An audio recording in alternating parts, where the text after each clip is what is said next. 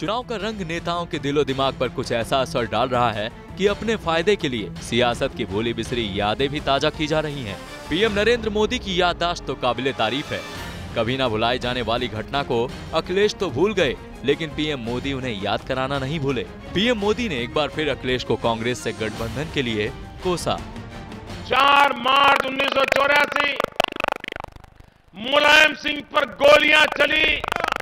और वह आंदोलन कांग्रेस की सरकार के खिलाफ चला था, कांग्रेस पार्टी के खिलाफ चला था। कांग्रेस और सपा के खंडन से पहले ही मोदी का बयान अपना असर दिखा चुका है। पीएम मोदी पहले भी अखिलेश को अपने परिवार से द्रोह करने का आरोप लगा चुके हैं। भले ही बीजेपी को अपने परिवार को बीच में लाना कतई पसंद नहीं है।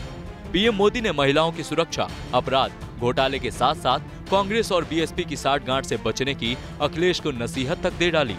बीजेपी की महाराष्ट्र सरकार ने सैकड़ों आत्महत्याओं के बावजूद किसानों की कर्ज माफ़ी नहीं की, लेकिन पीएम ने यूपी में चुनाव जीतने पर कर्ज माफ़ी की लेमन चूज़ बांट दी है।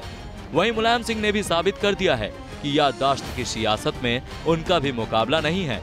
उन्होंने अयोध्या के कार सेवकों पर उन्नीस में गोली चलवाने की बात अल्पसंख्यक मतदाताओं को याद दिला दी।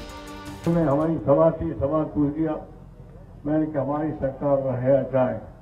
मस्जिद की हम हिफाजत करेंगे।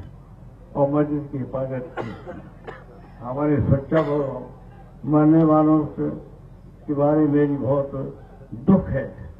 मजबूरी थी। तो हमारे सुरक्षा बलों को मस्जिद की हिफाजत करने के लिए गोली फायरिंग करनी पड़ी।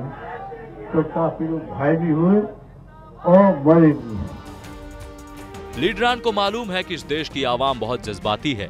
पल में तोला, पल में माशा। बस उकसाने भर की ज़रूरत है। इतने वोट झरेंगे कि झोली भर जाएगी। फिर कौन देखता है कि कसूरवार कौन था और सजा किसको मिली? रजत मिश्रा एपीएन